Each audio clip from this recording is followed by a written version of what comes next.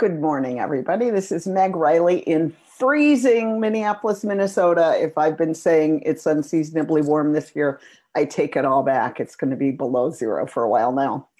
I asked for it. I'm hoping it kills some of the things that kill some of the plants. That's my only hope with it. Um, I'm very excited today to be welcoming a new learning fellow, and you'll be hearing more about her role here and a special guest and all of our hosts are here so it's it's a great day here let's start with christina Hi, everybody. I'm coming to you from Charlottesville, Virginia, um, where we're getting over a super cold snap, during which um, the water heater in our house, which heats our house because we have radiant floor heating, uh, was dead during the entire cold snap. Um, so I'm really happy it's starting to warm up for many reasons. And of course, we got um, the replacement installed yesterday just in time for the 57 degree weather today. Aisha.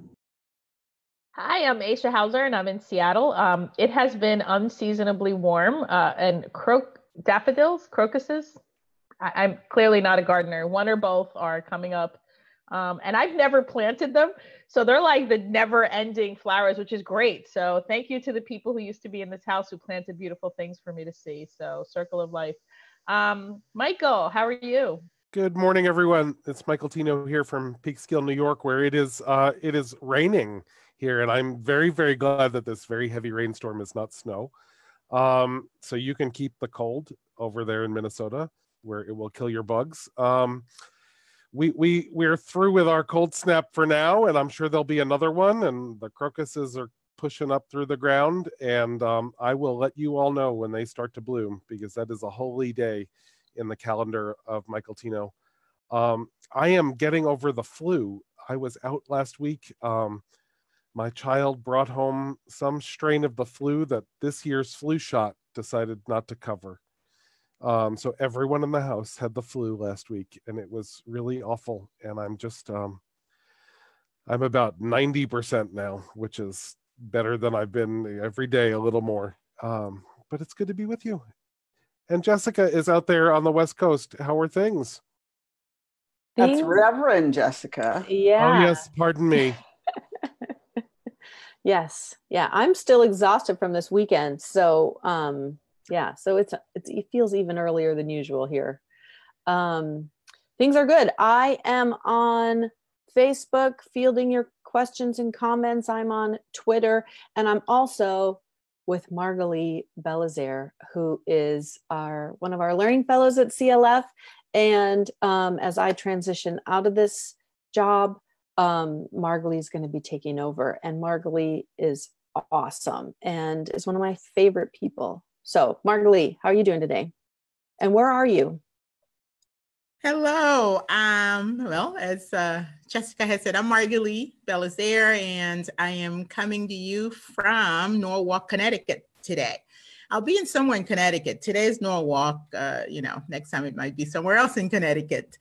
But I am so excited as um, you know Jessica transitions out, I transition in. I'm really excited to um, do tech here on, on VUU. So hello, everyone.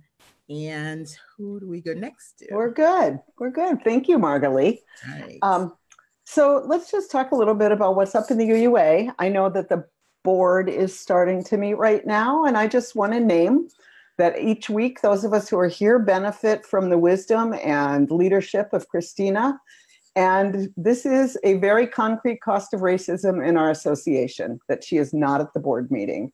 And she represents, she you can see her face now if you're watching this. Her face can represent so many people of color who have left. And, you know, we know how much she brings because we get to hear her every every week here and be inspired and and think and you know hear her faith and and what she brings to us. So I just want to name that, Christina. It's very sad to me that you're not in that leadership position because you did it so well. I'm, of course, delighted that you're here and you would be on a plane otherwise. But um, I just wanted to name that as we start talking about what's going on in our association. Um, so I'll start with that. Who wants to name something else? Well, I appreciate that, Meg, um, a lot. It's um, been really difficult this morning waking up and seeing all of my colleagues. Um, you, usually, you know, we really try and amplify that the board is meeting and and how excited the board members are to to be doing that. This is one of the um, quarterly times that we meet together in person, um, which is at Boston. And so, um, you know, this morning I've been seeing my colleagues, you know, post about getting on the planes and being in Boston and um, and I, you know, I think back to I had to develop a spiritual practice before the board meetings. When I first started the board, I was the only person of color on the board. And um, I really quickly realized that I needed to develop a spiritual practice to get me ready for that, which included um, going to a Puerto Rican restaurant in Boston. Like I would get off the plane, I'd go to the, the PR restaurant and have food that completely reminded me of everything I hold dear and kind of, you know, gird my loins as I went into the UUA board. And, and one of the things um, that I've just noticed that as time has gone on and, and the board culture has shifted, um, while I've stuck to that spiritual practice, I've I needed it less and less in terms of uh, protection and more and more in terms of celebration. Um, so that was something that I really appreciated about um, this board and its transformation and where it's going. And, and so that I definitely um, hold that blessing, you know, for them as they go through their work um, because it, it is transformative. Um, but as we do it, we, we do lose people and um, that cost is really high. So I appreciate being able to say that with you all and everybody who's listening and watching. Um, and part of that, you know, is speaking the truth about what our experience is. So, um, TRUUST um, this week came out with a report that talks about what the transgender experience is in our congregations. Do you want to and, share what TRUUST is in case? Oh, sure. You know what? I'm not sure that I know their acronym properly because you know we all love our acronyms in UU. Um, so I'm just going to look it up real quick. It's the trans. Oh, there it is. Um, the transgender religious professional Unitarian Universalists together. That's the TRUUST. Um, and so they uh, did a study that that talked about what the trans uh, gender folks' experiences in our congregations. And it's um, it's really well done. It's um, and the call to action in it is fantastic. You know the and there is an executive summary if you don't want to read the whole report. I encourage people to read that. Um, but what I would say is, you know, for everybody that was preaching King this weekend, um, they should be reading this report and doing every single one of the call to actions. Like we can't just say, um, you know, all the wonderful things that we want to say about Dr. King's work and then not turn around and pay attention when something like this, something this important comes um, and is just laid into our laps, you know, especially as we see the Supreme Court upholding the transgender ban um, earlier this week. So, uh, shout out to TRUUST for all their hard work. Um, and you know, get your hands on the report, read the report, take a look at it, see the ways in which you can be working on it, not just in your congregations. The call to actions are very easy to translate into everybody's everyday lives.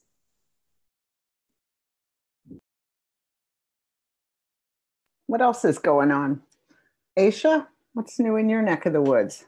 Um, so the UA nominating committee uh, finally completed its slate. I know that because I'm a member. Um, and uh, five people will be um, or will be on the slate for the UUA board. We populate six committees, so um, that happened, and it got you know we made it public finally. Um, so that's exciting at least I think so.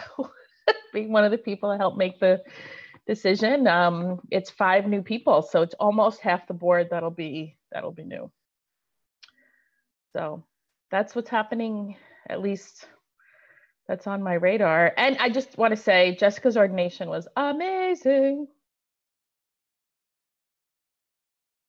It looked really great from the miles away. Michael, anything to add to this from your world?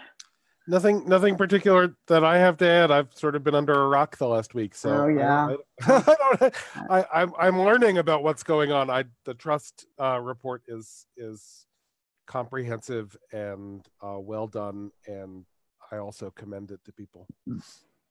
And not easy. Yeah. It's it's not it's not easy, and and anyone who's been you know paying attention um, shouldn't be surprised at how not easy it is.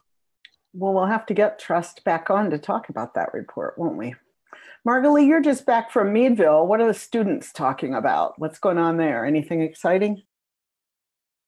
Huh, anything exciting? Um, wow, I, I think I'm still uh, re-entering from from being at Meadville for intensive. So I, I my mind isn't um, that clear right now to uh, talk about anything specific. So I Okay. can't think of anything, Meg. All right, well, keep us posted. I'm very excited about our guest this morning.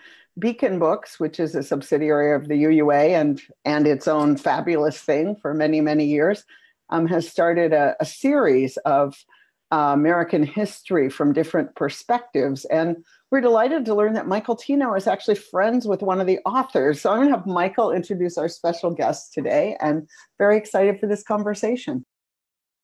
Good morning, everyone. So I'm excited to welcome Paul Ortiz to The VUU this morning. Paul is the director of the Samuel Proctor Oral History Program and associate professor of history at the University of Florida. And uh, as Meg mentioned, the new the author of the brand new Beacon Press book, An African American and Latinx History of the United States. And as it turns out, Paul and I were in graduate school together. Um, several decades ago at Duke. Um, and uh, many of my uh, closest friends there were in the history department. So as a cell biologist, I, I hung out with historians all the time. And, and it's, um, it's been many years since Paul and I were in the same space, but it is wonderful to have you here today, Paul. And you're, and you're muted. So, um, so we're not actually hearing what you have to say. All right.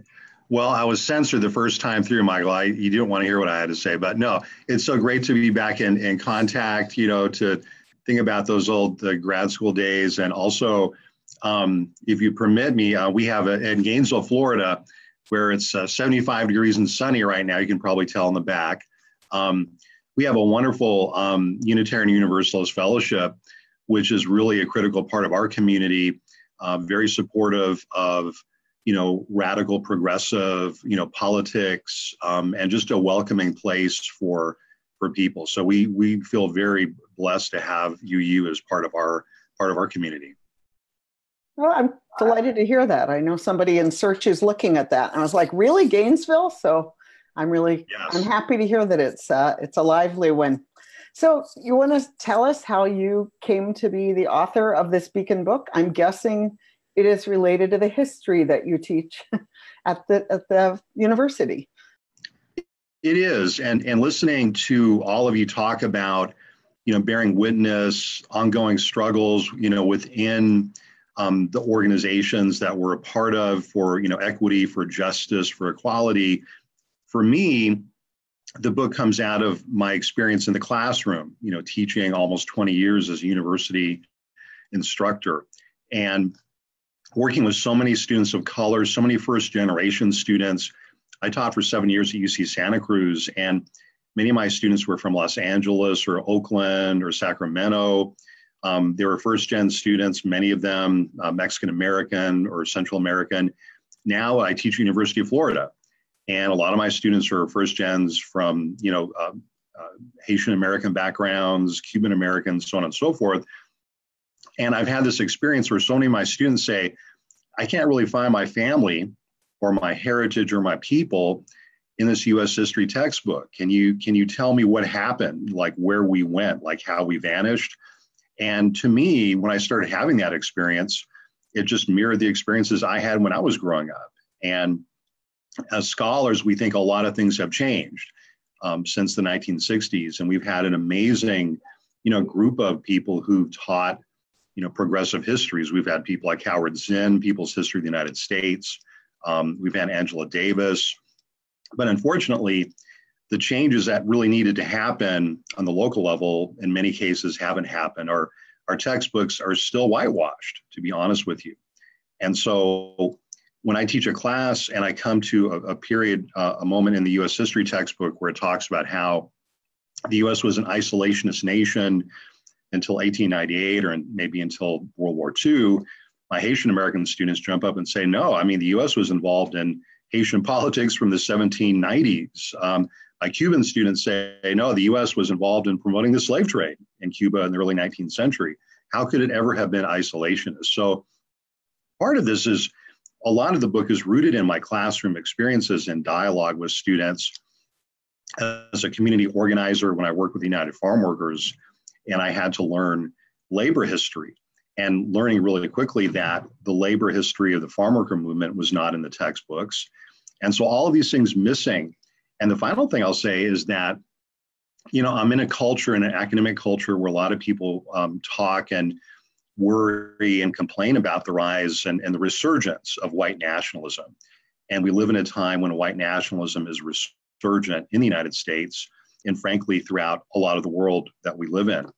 Um, but it strikes me as odd that as historians, we, we haven't done enough to challenge that. And so one of the things I do in African American and Latinx history of the United States is to say from the very beginning, this has not been a white nation. It's been dominated by white elites, but from the very outset, people from Latin America, from the Caribbean, and Africa have played a central role in democratic struggles, anti slavery movements, trying to create bridges, build bridges between freedom movements in the United States from the colonial period uh, all up, up, up, up into the present. And we ignore that at our peril. If we if we ignore the linkages between the United States and the nations of Latin America and Africa and the Caribbean, then what we will get, we'll continue to get people who can easily seduce us by saying, oh, we'll build a wall because you know building a wall is going to make us safer, when really the history of this entire hemisphere is people trying to build connections between uh, each other. But many times those connections have really frightened our elites. Um, and they're able to kind of spread this fear throughout the rest of the society. So that these are some of the things the book is trying to address. I think one of the things, like, there's people not getting excited about who's running for 2020, and great, but I mean, on the Democratic side. And one of the things, just to, to your point, is I'm actually more worried about who locally people even understanding genuinely how we we got here. Um, and so that is fundamentally everything you're speaking to is we've gone generations with woefully incomplete. It feels like even the word incomplete isn't even enough. Almost, really intentional, um, as you said, whitewashing of how we got here as a country, um, and and really leaving out violent the role of violent extractive capitalism. Uh, that we continue, and so uh, you know, thank you for this book. Actually, I have not read it yet, and I can't wait to get it. Um, and so we, we, there needs to be like a fundamental education that happens among among adults along with our um, our youth and, and children to really kind of change the ship because there's a whole vast segment of this of the US population that is frankly willfully ignorant. I, I, don't, think anymore that the information's there if you want it. Um, uh, but but there's a genuine willful ignorance that is it's dangerous. I mean, at this point, we, we need to name it for what it is yeah. Yeah and i don't know if it's if it's ignorance as as it is i would go a step beyond that. I, I think it's it's not even just propaganda it's actually indoctrination into a specific way of thinking about our country. Um, so you know when my sons are in high school and the past two years i've looked for an ethnic studies program for them for the summer even just a week at a college, at, you know, somewhere um, where they could go and, and learn, you know, what some of the ethnic studies courses in college um, are able to bring in that our high school, um, you know, classes don't even have. And it's not even out there, like for high school students. You know, the the there, I think there was one, maybe two programs. I mean, it was just it's not even there if you know that you want to go and find it. Um, so you know, I I love that Paul, what you're doing in you know bringing these texts um, because I'm able to, you know, take this and and people's history and you know miseducation and and bring those books to my kids. But it's a different experience when you are sitting in a classroom being indoctrinated with a specific um, viewpoint, as when you know I bring these texts to my kids and say, sorry, this is part of what you're going to be doing this summer. you're going to be reading this, and I try to make it exciting and you know, you know, some payoff for them. But it's it's just different. Well, it is an exciting history because it's it's a movement history. It's people in motion, people in struggle, and another thing I've really learned from the classroom, which kind of mirrors my own upbringing, is, you know, when I was a kid, when in my household when we talked about the revolution we were always talking about the Mexican Revolution because that was the revolution that, which really impacted my family much more than the American Revolution. I mean, we never talked about Alexander Hamilton or George Washington or all these people that are, are so big now, or Jefferson. I mean, we talked about Emiliano Zapata, we talked about Pancho Villa, we talked about the struggles for land reform in Mexico. Um, one of the things I learned too, getting back to an earlier point that that several of you have made, yes, it isn't just ignorance, which is at play here. Many people have known the facts that are in this book. And I just want to highlight the importance of Beacon Press and, and the Unitarian Universalists for supporting Beacon, you know, since the, the years of the anti-slavery movement, because Beacon Press insisted to me that in writing this book, it had to be free of jargon, it had to be concise, it had to be accessible to a general public, because, you know, at this late stage, you know, we're in a crisis right now. I mean, and one of the issues we've talked about ad nauseum is the hostility between our government and the government of Mexico. And in, in this book, in chapter two, we go back to the turn of the 18th century, actually. We talk about the importance of the Mexican War of Independence and how, what an enormous impact it had in the US in so many different ways. One of the impacts is that Mexico abolishes slavery very early on and becomes a place of sanctuary for African American slaves in the United, fleeing the United States. And it's, it's such, you know, Mexico is such an inspiration and democracy for people worldwide that when the U.S. invades Mexico, finally, uh, we, we call it in the textbooks the Mexican American War. It's a terrible, um, uh, again, worse than ignorance. It's not the Mexican American War, it's the U.S. invasion of Mexico but many of the US soldiers that go down to Mexico to overthrow the, the, the, the country, to take over the country, many of them actually join the Mexican side. Um, an entire Irish regiment is formed, actually. Um, and I got a chance to see their, the wonderful memorial um, uh, in Mexico City um, over December. Um, my wife and I were actually in Mexico City in part to pay homage to the San Patricio Battalion. Uh, these were Irish American troops when they got to Mexico during the war, they said, "Hey, we're uh, we're fighting on the wrong side," and so they ended up fighting for the freedom of, of Mexico from U.S. imperialism. Um, but that example of freedom and democracy and justice in Mexico, we we use uh, uh, we talk about people like Frida Kahlo, uh, Diego Rivera, uh, Jean Charlot, so many people, the Zapatista movement of the 1990s so many Americans have been inspired by those movements. Uh, the Mexican Revolution, um, I have a friend, Christina Heatherton, who's finishing a book now, which argues that the Mexican Revolution had a much bigger impact worldwide on promoting democracy movements than, than the Russian Revolution in 1917.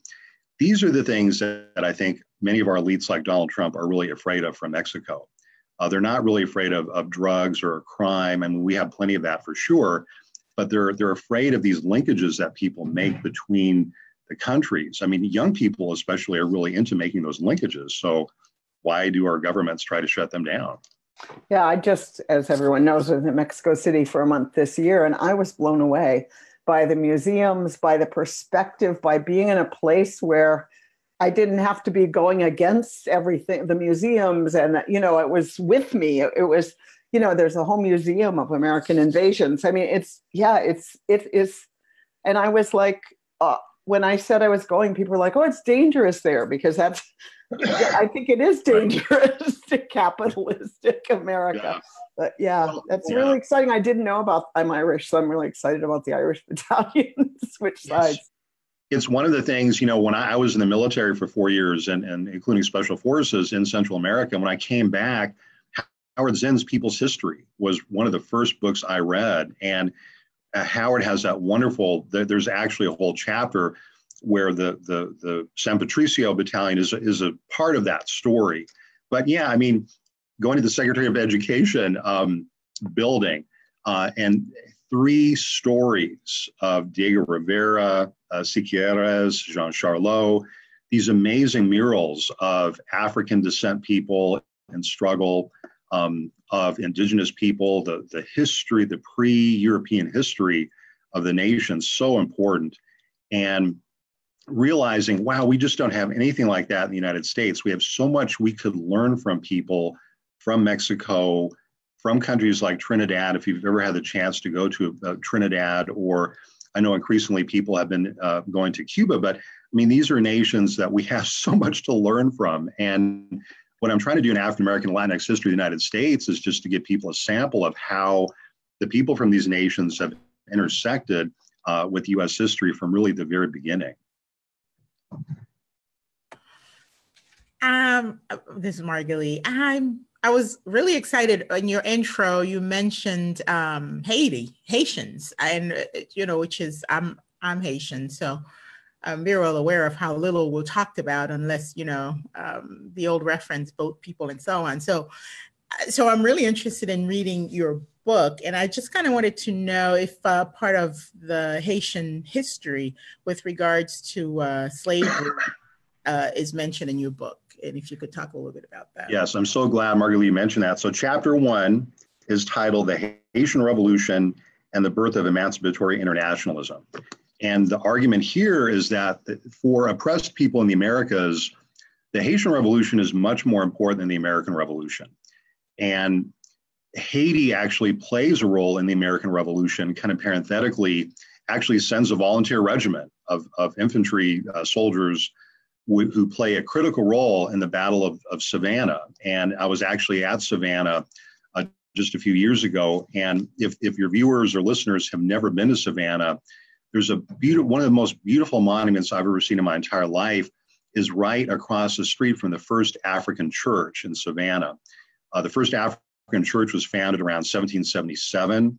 Um, it's the oldest, we think the oldest continuously um, congregated uh, African American church in, in actually North America.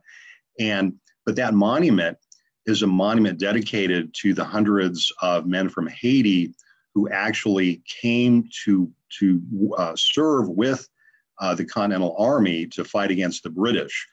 The irony of that is that they were fighting against a British general who later would lead an invasion force from Britain to Haiti to try to re enslave the Haitian people. That was General Maitland, one of the ironies of history. Um, Haiti, once the Haitian Revolution happens, and it's the only successful slave revolution in human history. Um, we need about 20 movies about it, you know, and, and just to kind of educate people. But it's so pivotal because every early slave revolt that happens in the United States keys in some way on the Haitian Revolution. Every Latin American independence movement, from the Mexican War of Independence to Simon Bolivar in Central America to the struggles in Argentina um, and, and that part of South America. Key on the Haitian Revolution, what I mean by this is that people like Simon Bolivar, uh, Jose Marti, Antonio Maceo from Cuba, all end up in, uh, in Haiti, excuse me, at some point for sanctuary when the Spanish or the Portuguese or the Dutch or, or the French defeat them, Haiti is that place that guerrilla freedom fighters like Jose Marti end up staying and learning from the Haitians. The Haitians have something very important to teach Latin American independence movements in the uh, in the 19th century. What I mean by this is that Haiti is the only nation in the hemisphere which has defeated the Spanish, the British, and the French. They they defeated two major French invasion forces so they teach people, they teach freedom fighters from Mexico, from Central America, um, how to uh, equip armies, how to to win in combat against superior forces, you know, who have rifle artillery. Um, but more important than that, one of the one of the amazing things is is how we've forgotten so much of this history. But if you take a country like Venezuela, for example, the first time the Venezuelan flag was actually flown uh, was around 1806 1807 not in Venezuela proper, because the Spanish still dominated that, that area, what was going to become Venezuela, but it flies in Jacmel Bay in Haiti. And the Haitians celebrate this fact, and they're very proud of the fact that, again, and yet another independence movement has come to Haiti to, to for, for sanctuary and for refueling, uh, for refitting. At the same time, the countries of Europe, Great Britain, France, and the United States are united in one thing. They see Haiti as a contagion of liberty. And that's the phrase that they use. And my students are always amazed about this because up to this point, France and Great Britain, the US are always at odds, right? They, they fight wars with each other, they're constantly in conflict. But there's one thing all the great European imperialist powers can agree with or agree on is that Haiti, we, that they need to draw a blockade around Haiti uh, because it serves as a dangerous lesson on how oppressed people can get their freedom.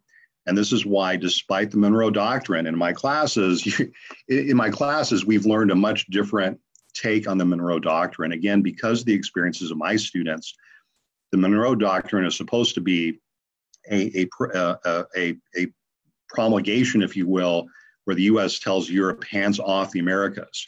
That was never the case the US helped France force the Haitian people to pay slavery reparations for over a century. Um, and essentially, the way that the Americans participated in this was by saying, we will withhold diplomatic or any kind of trade um, rep, um, relationship with Haiti unless you promise to pay this crippling um, slavery reparations to, to France for, for abolishing slavery in Haiti. Great Britain joins along, and even during those times that Great Britain and France are at, at each other's throats, again, they're trying to strangle Haiti from the very beginning because even to this day, I mean, in in the book, I mean, I talk about, I mean, all through World War II. I mean, here's another example that's not in the book. If if I can can kind of switch gears just a little bit. In in the late 1930s, before World War II has started in Europe, there was a a global conference held on the crisis of Jewish refugees. This conference was held in France. And all of the major European powers in the United States said, uh, well, you know, we feel very bad for what's happening to those poor Jewish people. Uh, but the U.S. delegation says, you know, um, unfortunately, uh, you know, we'd like to do something, but we're a nation of laws.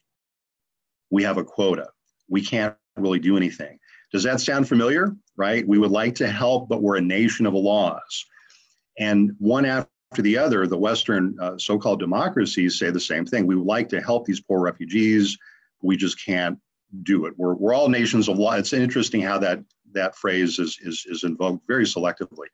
Um, two nations step up and say, you know, we're very under resourced, we don't have navies, but we would like to do something and we're going to pledge to do something. And one of those nations is the Dominican Republic. The other nation uh, is Haiti.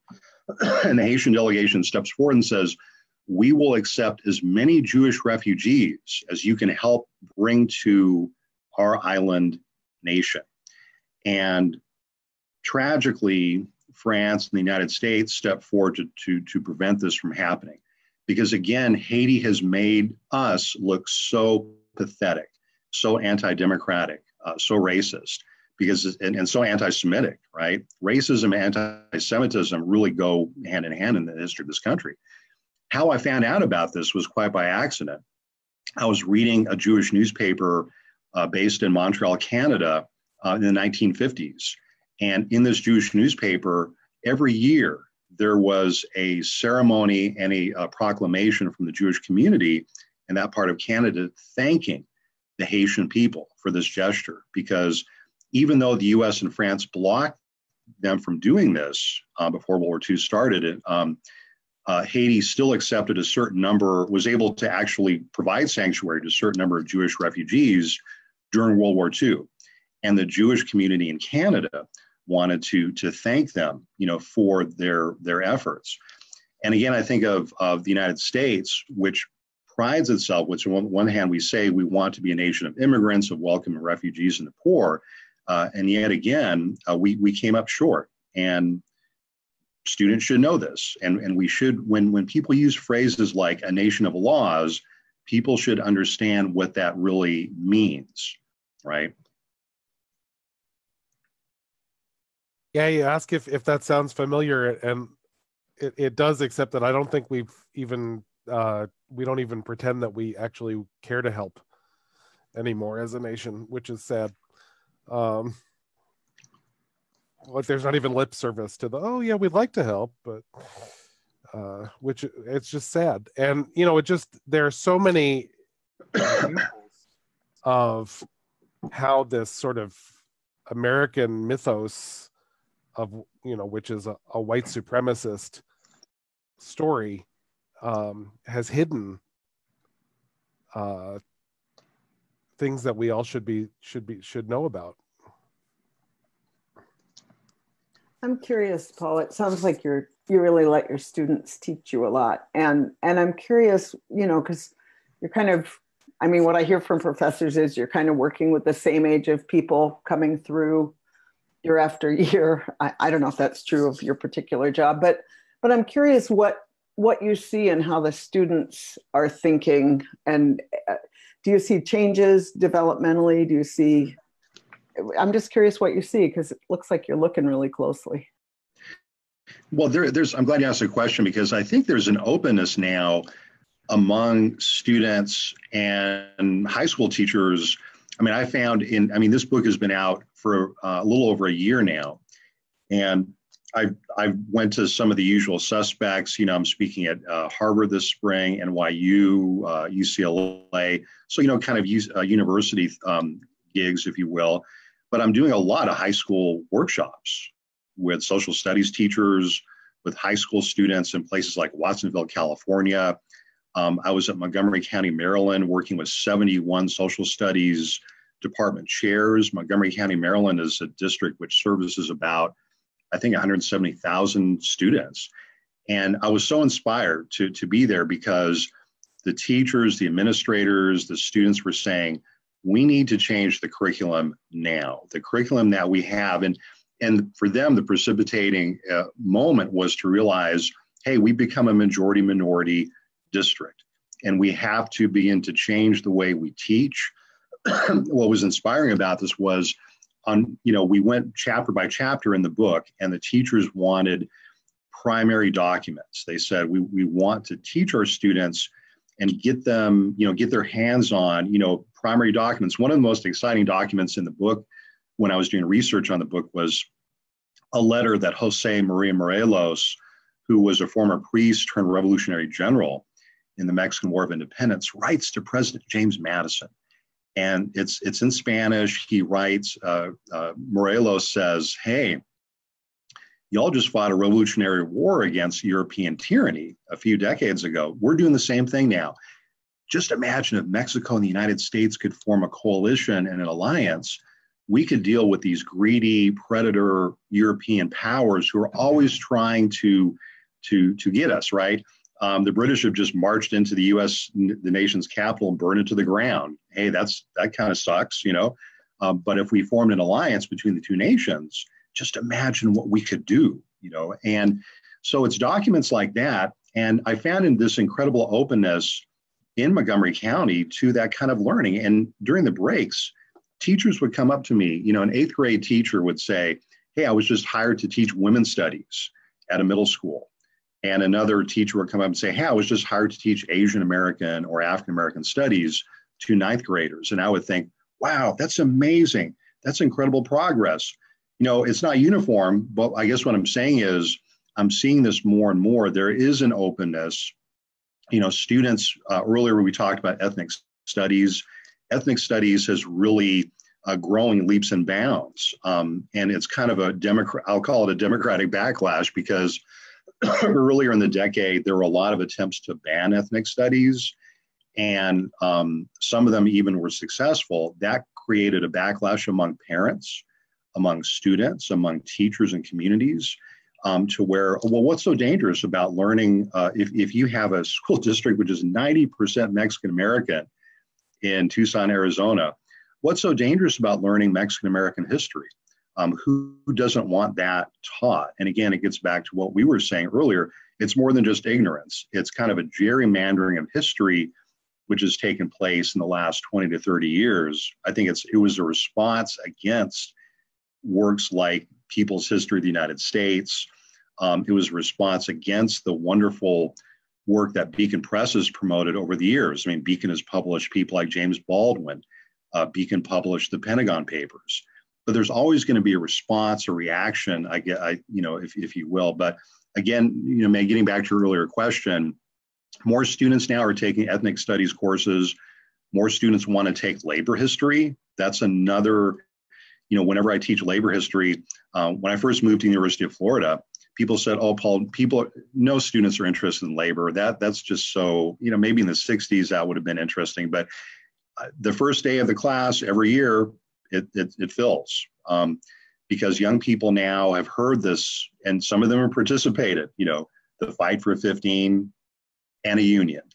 And even in the state of Florida, that's become a big movement. So the connection between social movements, uh, which have happened, and one last story, if I could, if I could share, because it kind of gets to the high school age um, freshmen, if you will. I did a, uh, a history workshop with students in Watsonville, California last year, um, on African American Latinx history of the United States.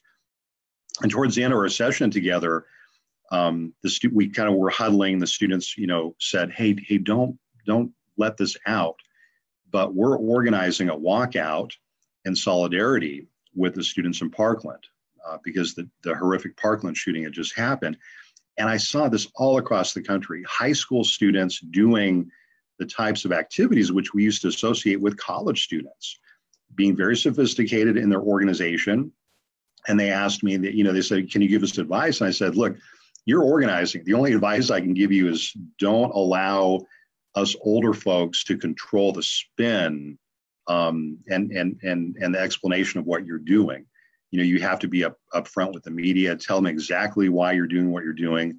Don't let them marginalize you. Don't let them say, oh, these are students that just want to get a day off from school you know tell them exactly why you're doing this. You're doing it in solidarity um, with students who have suffered in, in florida. But i'm seeing a level of, of activism and organizing which very much informs a lot of the work in this in this book.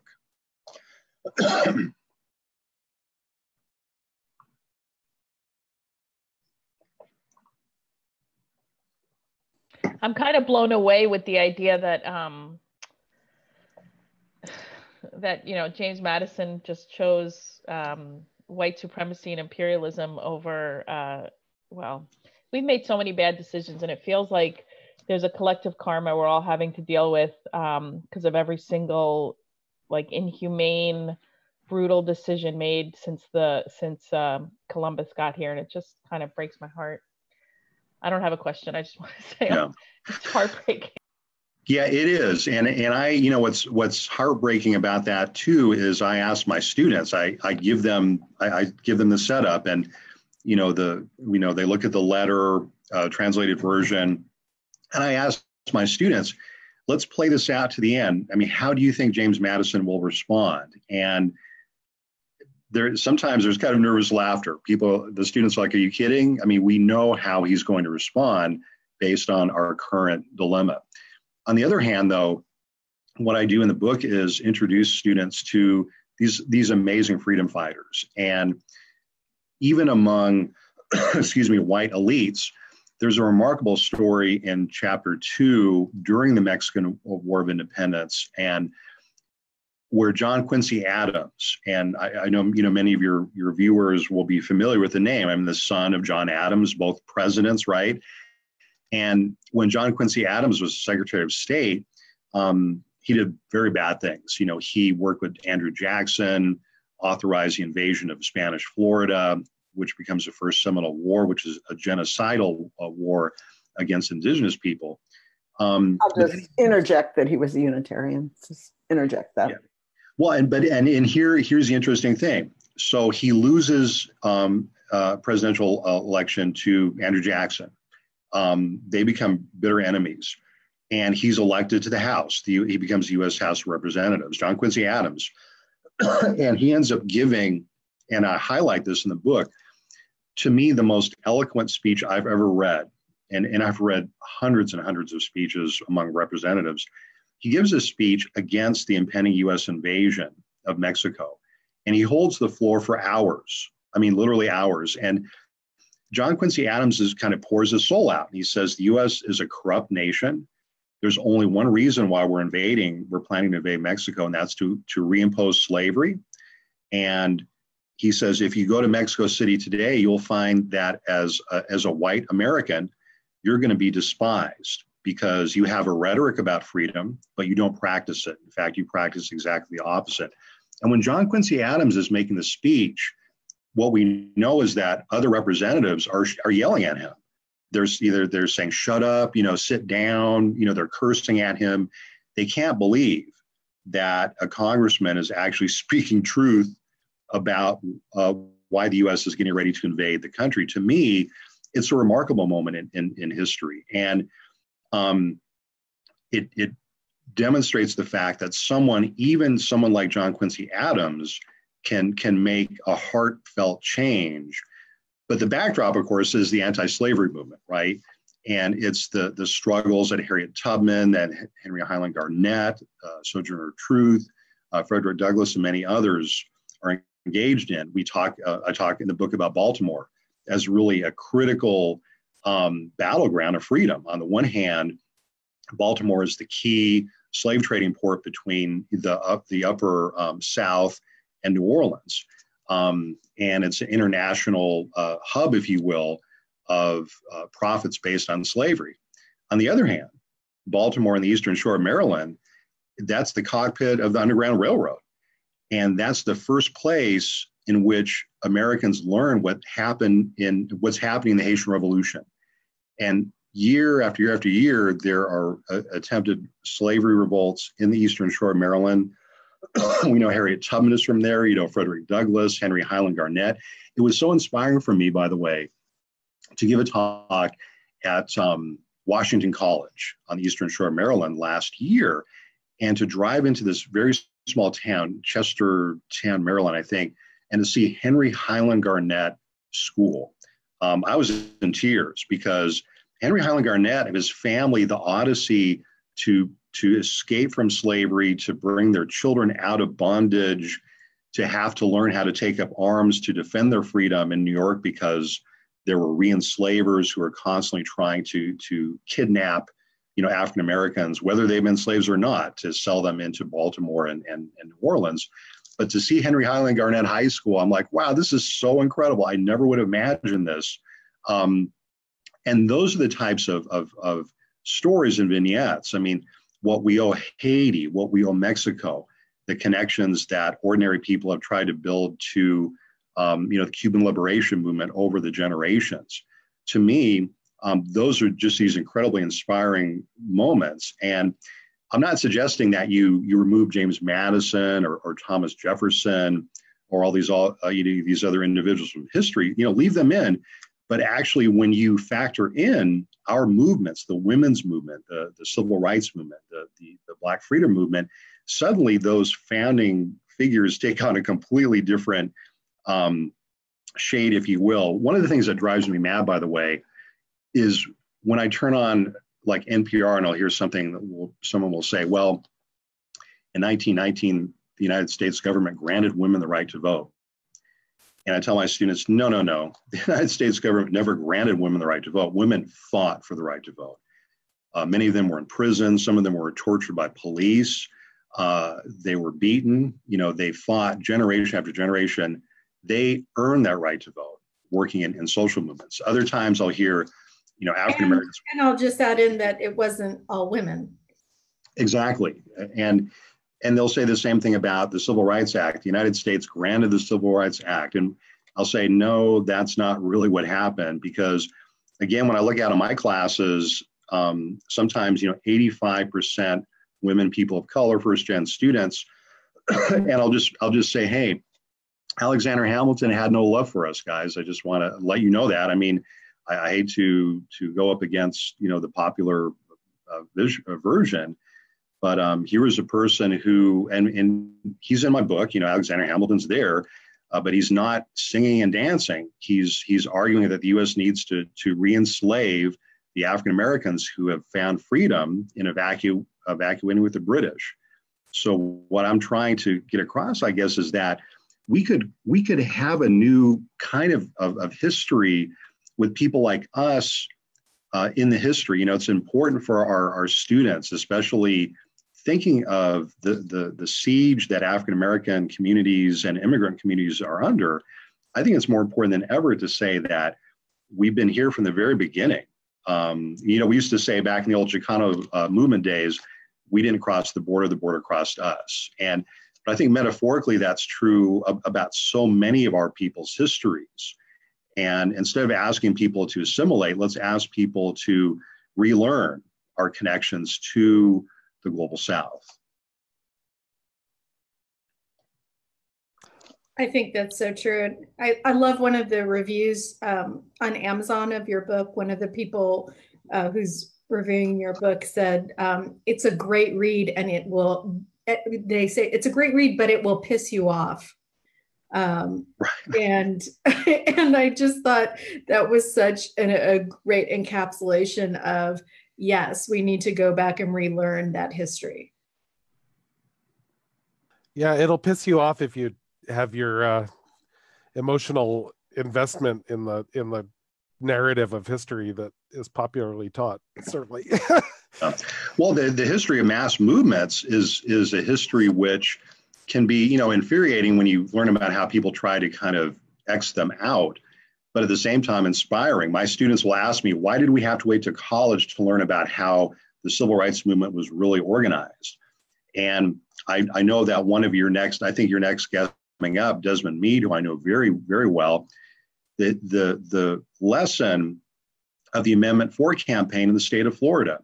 We learned so much about history uh, and we invoked history in, in that petition drive. You know, we had to get a million signatures um, on this, this, this ballot measure to reenfranchise people who have been convicted of felonies. And we drew from the lessons of all of these past social movements on how to work together across the state you know, we we learned that we were not going to get a million uh, signatures on this felony reenfranchisement measure by going to the county fair with clipboards.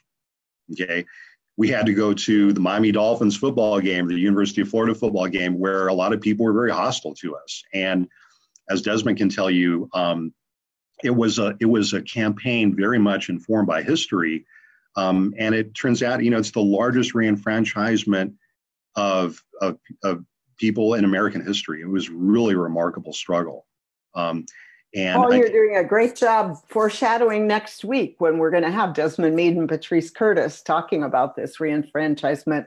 We just have a couple more minutes, and I wondered, uh, for closing question, you know, what what do you wish that people would get from the book? Like what, like your dream of what how you because i can just see why students would fill your classes immediately i think we're all sitting at your feet you know but what do you what do you wish that everybody would know well i wish kind of um, the kind of curiosity that a lot of my students and people that i talk to you know we, we develop a, new curiosity uh, if you will about people in the world around us and when we think about going to a place like mexico city for example um, people don't fall into cut into pieces and say, "Oh my gosh, it's so dangerous there." You know, are you sure? Do you want to go there?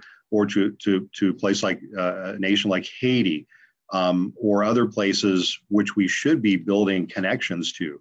So to me, I think you know, using the book not just to learn the kind of history which I wish I would have learned as a kid, but also uh, using history to connect us to people around us today. You know, whether it's people in our own communities we may not speak their languages, but hey, what about learning a little bit of that, uh, a little bit of that language? You know, we may have a different lifestyle, but what about, you know, learning something more than toleration? You know, we talk a little bit about that. You know, what does it mean for you to tolerate me? Wow, that's really nice. But, you know, let's genuinely learn something of each other's um, history, and that that way we might be able to to actually talk with each other. One of the exciting things is to see the book being used in a lot of um, discussion groups, and you know, kind of small groups where people are talking about truth and reconciliation. And there's a lot of exciting truth and reconciliation efforts happening, by the way, in the Deep South, um, in Florida, um, and in other places that had anti Black racial pogroms. I'm hoping that people can use the book to kind of come together, you know, across, um, you know, across differences, across demographic, you know, differences, if you will. And so um, that's all very exciting because it's not just what we learn about the past; it's how we we we use the past to kind of build more solidarity in the present. That that's my my hope for the book. Well, thank you. Thank you so much. This has just been wonderful. I feel alive. That's what history should be exciting. You know, history should be passionate. It should be. I always hate. Uh, I, I. This is my hobby horse, but I hate when people say, "Oh, it's so boring. History so boring." No, history should make you laugh. It should make you cry. There's so much tragedy. There's so much amazing, powerful triumph in, in history but it should never be boring. So let, let's let's not do it that way. Let's not. I wish you'd been in my high school class. Thank you. Thanks so much. Thanks to Beacon Books for producing this. I hope everyone goes and buys it. Jess, did you promote it over on the Facebook page? I sure did. Great. So Thank buy you. the book. Yeah. And thanks so much. And Paul, maybe you'll come back sometime. I have a feeling you didn't say everything you know. I, I would love to, and and I apologize. My I'm still recovering from the flu, like Michael. I guess we got it in grad school, right, Mike? We've had it for decades, but um, yeah, thank you so much for for Absolutely. having me on. Maximum respect to you, you Beacon Press. You know, wonderful community. Thank you. Thank you. So long. Bye bye.